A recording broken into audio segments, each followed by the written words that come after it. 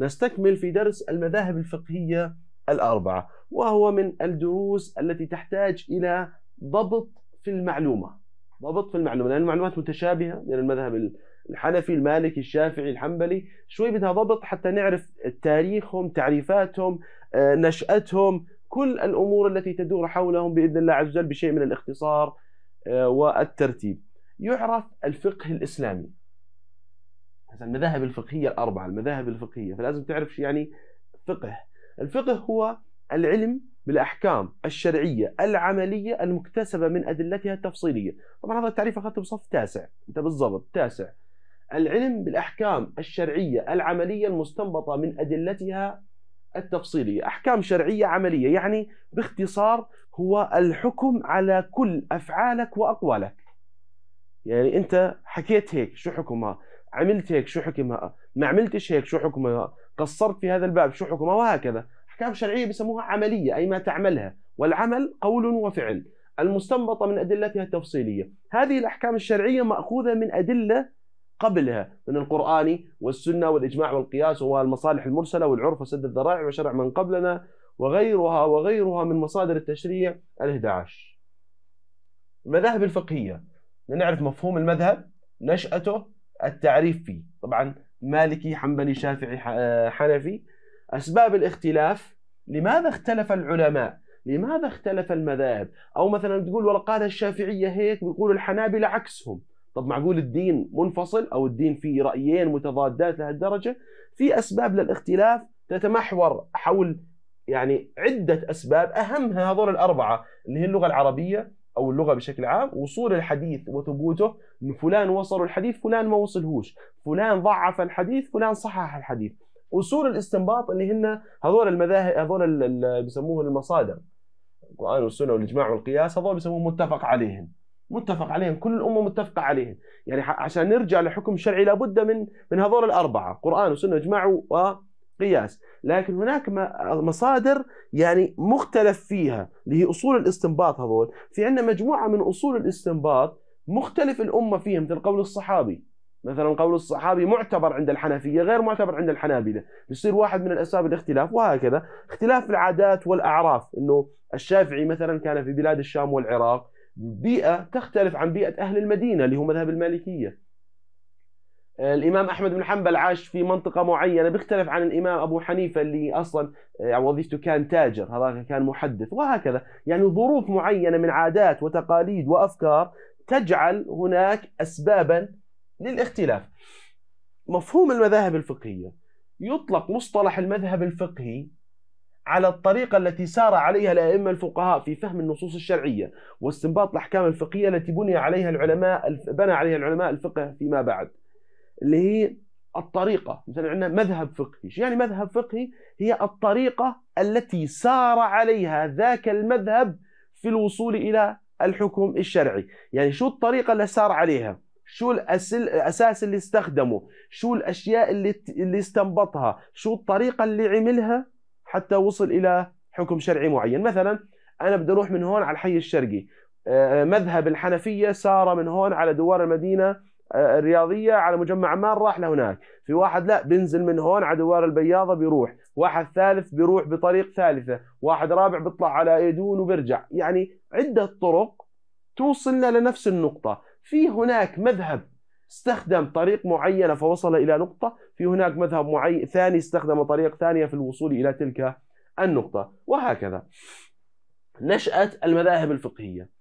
كان الصحابة رضوان الله عليهم مرجعهم الأساسي هو النبي عليه الصلاة والسلام. يعني بتحكي لي ليش مثلا إحنا ما بنرجع للنبي؟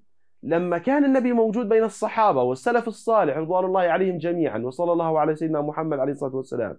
لما كان موجود كان مرجعهم الأساسي هو النبي عليه الصلاة والسلام. فإن تنازعتم في شيء فردوه إلى الله والرسول. وأولي العلم منكم. يعني بدنا الله عز وجل والنبي عليه الصلاة والسلام. القرآن والنبي موجودين فالحل عندهم دائما. لكن عندما اختلفت الألسن ودخل غير المسلمين في الإسلام غير العرب في الإسلام واختلطت اللغات وتوسع الإسلام ومات النبي عليه الصلاة والسلام هذه نقطة مهمة جدا.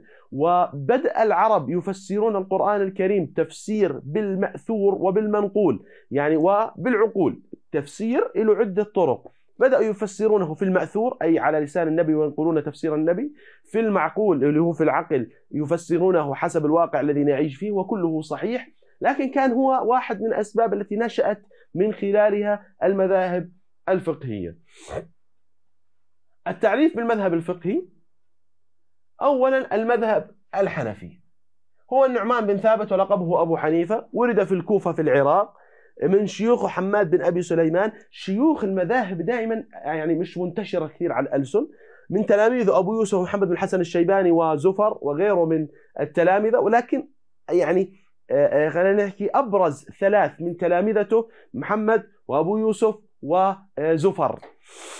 آه، في مدينة وفاته في مدينة بغداد. يعني مات وعاش عاش ومات في العراق رحمه الله عز وجل أبي حنيفة النعمان.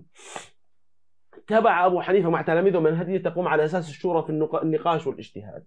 هو كان يشاور ويبحث المسألة مع تلامذته ثم ينطق بالحكم الشرعي. طبعا كثير من الأحكام الشرعية خالف فيها تلامذة أبو حنيفة خالفوا فيها أبو حنيفة. واشتهر بالفقه الافتراضي أيضا. يعني اشتهر بالفقه الافتراضي. كيف يعني فقه افتراضي؟ يعني آه، آه، يقول هب أن مشكلة أو آه، امرا حصل في زمن معين فيحل يضع له حلا. يعني يفترض المشكلة والحل. يعني فتوى مش موجودة أو مسألة مش موجودة يفترضها افتراضا ثم يضع لها حلا. يعني هو يحط السؤال والجواب. يحط السؤال والجواب وهذا ما جعل فقه أبو حنيفة يعني يصلح لكل زمان ومكان أكثر من غيره من المذاهب لأن كثير من المسائل التي نعيشها الآن قد أجاب عنها أبو حنيفة وسأل نفسه عنها أبو حنيفة وأجاب قبل أن تحصل يسمونها بالفقه الافتراضي. المذهب المالكي هو أبو عبد الله مالك بن أنس المدني ولد في المدينة المنورة 93 هجري ولم يغادرها إلا للذهاب إلى الحج. هو عاش ومات في المدينة. من شيوخه نافع بن عبد الله بن الإمام الزهري عبد الرحمن بن القاسم والإمام الشافعي. تخيل الشافعي تلميذ عند الإمام مالك عبد الرحمن بن القاسم. طبعا له كذلك تلامذة آخرين أسد الدين بن الفرات له آه، سحنون وغير والإمام الشافعي كذلك تلميذ عنه عبد الرحمن بن القاسم وكثير من تلامذة الإمام مالك رحمه الله عز وجل. طبعا توفي في المدينة 679 هجري. يعد المذهب المالكي آه، آه، ثاني المذاهب الفقهية ظهورا وقد أجمع المسلمين وخاصة المدينة أهل المدينة على صحة هذا المذهب وعلى أنه يعني يعتبر أمير المؤمنين في الحديث وإمام دار الهجرة رضي الله عنه وأرضاه وله كتاب اسمه الموطأ في الحديث الذي جمع فيه كثير من أحاديث النبي عليه الصلاة والسلام. كان الإمام مالك يتبع أسلوب التلقين أسلوب التلقين يعني أسلوب آه، بحفظ تحفيظ المعلومة اللي عنده يعطيها لطلابه تلقينا وليس هناك مجالا للنقاش الكثير والطويل مع الإمام مالك. ما في. خلاص الفقه اللي عندي بعطيك اياها معلومة ثابتة لا مجال فيها للنقاش ابدا. بعكس الإمام أبي حنيفة رضي الله عنه وأرضاه ورحمه الله عز وجل. المذهب الشافعي هو أبو عبد الله محمد بن إدريس الشافعي القرشي يرجع نسبه إلى النبي عليه الصلاة والسلام ولد في غزة في فلسطين 1950 هجري من شيوخه مسلم بن خالد آه، آه، آه، الزنجي مفتي مكة والإمام مالك.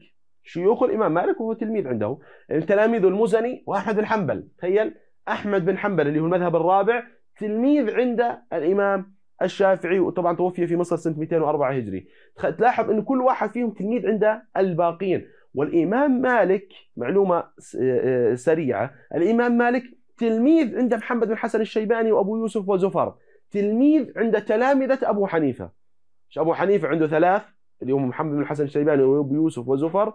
من تلامذتهم من تلامذتهم هذول الثلاث الإمام مالك رحمه الله عز وجل فكل واحد منهم تلميذ عند الآخر رحمهم الله عز وجل جميعا.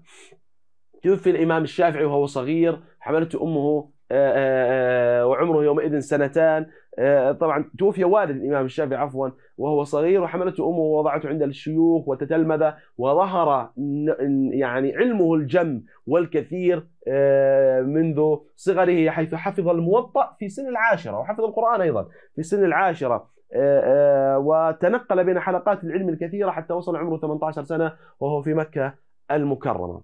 بعد ذلك انتقل إلى المدينة المنورة ولازم آه، الإمام مالك وكان من تلامذته رحمه الله عز وجل وثم عاد إلى العراق وألف وخلينا نحكي مش ألف ووضع المذهب الثاني لأنه كان عنده المذهب الأول في بلاد الشام والمذهب الثاني المذهب الأول في العراق والثاني في بلاد الشام حيث اختلاف العادات والتقاليد والأفكار هنا جعلت منه كثيرا من الفتاوى يغيرها. طبعا ألف كتاب الأم والرسالة في الأم والرسالة في الفقه وأصول الفقه. طبعا يعني معلومات هي خارجة عن الأمور اللي أنت بدك إياها. المهم الفقه واصول الفقه بغض النظر شو الفرق بينهم. الآن لسنا في معرض الحديث عن الفروقات. أحمد بن حنبل الشيباني ولد في بغداد من تلاميذ شيوخ الإمام الشافعي وسفيان بن عيينة من تلاميذه ابنه صالح وعبد الله وأبو بكر بن الأثرم. تخيل الإمام أحمد تلامذته صالح وعبد الله أولاده وأبو بكر بن الأثرم وفي توفي في بغداد 241 هجري. طبعا توفي والد الإمام أحمد طبعا وهو صغير وعانى الإمام أحمد في فتنة خلق القرآن وكان يعذب ويهان رحمه الله عز وجل وألف مسند الإمام أحمد في الحديث النبوي الشريف وضم كثيرا من أحاديث النبي عليه الصلاة والسلام. أيوه. ويعد رابع المذاهب الفقهية ظهورا وانتشارا. الآن أسباب الاختلاف. اختلاف اللغة. واحد أو أهم من أهم آه، أسباب الاختلاف عند الأمة الإسلامية في المذاهب الفقهية الأربعة اللغة. إنه هون في باللغة العربية بعض من المصطلحات لها عدة وجوه في الفهم. يعني كلمة واحدة بتكون لها معاني كثيرة. فاستخدام هذه المعاني آه، آه، في القرآن الكريم ومحاولة تفسير القرآن الكريم عن طريقه بيولد خلاف. مثلا حرف الباء مثلا وامسحوا برؤوسكم حركة معينة كلمة معينة لها عدة معاني فتسبب إيش؟ اختلاف. وصول الحديث وثبوته.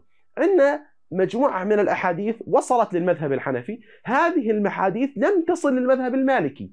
فكان الحكم الشرعي المستنبط من هذه الحديث موجود عند الحنفية غير موجود عند المالكية. يعني هل وصل الحديث؟ يعني مثلا خبر معين أو آه، معلومة معينة. أنت سمعت صاحبك ما سمعهاش. انت استنبطت حكم شرعي من هاي المعلومة لأنها وصلتك صاحبك ما استنبط حكم شرعي من هاي المعلومة لأنه أصلا هي ما وصلته فهي عنده بالنسبة له في حكم العدم. أصول الاستنباط لكل مذهب فقهي أصول في الاستنباط تختلف جزئياته وتختلف هذه القواعد بحسب هذا المذهب. مذهب معين عنده آه، عرف أهل المدينة دليل. مثل الإمام مالك بيقول لك أهل المدينة وفعل أهل المدينة دليل على حكم شرعي. الإمام أبو حنيفة بيقول لك لا أهل المدينة مثلهم مثل غيرهم. أعمالهم ليست حكما شرعيا. هو هيك يفترض. فأي عمل يقوم في أهل المدينة عند الإمام مالك حكم شرعي. عند أبو حنيفة وجمهور العلماء الباقيين من الحنفية والمالكية والحنابلة لا يعتبرونه حكم شرعي. فصار هناك اختلافا. لأنه فيه اختلاف في أصول الاستنباط بعض الجزئيات الدقيقة. اختلاف الأعراف والتقاليد. اختلاف في المكيال والميزان والصاع مثلا والمد. الصاع في المدينة غير عن باقي المناطق. فالصاع أهل المدينة مثلا 2 كيلو إشي هذاك 2 كيلو ونصف فأكثر وهكذا يعني اختلاف بعض المكاييل والموازين والمقادير واختلاف بعض الأعراف والعادات تسبب اختلافا في ال آه، آه، في الحكم الشرعي. هذا عمل أهل المدينة اللي إحنا حكينا عنه. طبعا لا تنحصر المذاهب الفقهية في المذاهب الفقهية الأربعة لكن هي الأكثر انتشارا وقبولا والتزاما في آه، القرآن الكريم والسنة النبوية الشريفة. لكن هناك ظهرت مذاهب مثل سفيان الثوري الأوزاعي ليث بن سعد إسحاق بن راهويه آه، الطبري الظاهرية. كثير من المذاهب ظهرت لكنها لم يكتب الله عز وجل لها القبول إلا لهذه المذاهب. الأربعة. هذا